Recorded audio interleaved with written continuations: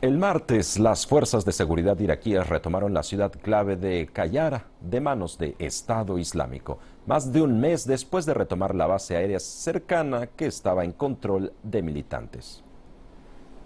Las imágenes muestran la celebración de los soldados iraquíes mientras el humo negro se eleva sobre la ciudad. Kayara se encuentra ubicada cerca de una importante base aérea al sur de Mosul, el primer ministro iraquí, Haider al-Abadi, indicó que esta victoria marca un importante paso en el camino hacia Mosul, la segunda mayor ciudad de Irak, la cual ha permanecido bajo el control del Estado Islámico durante más de dos años.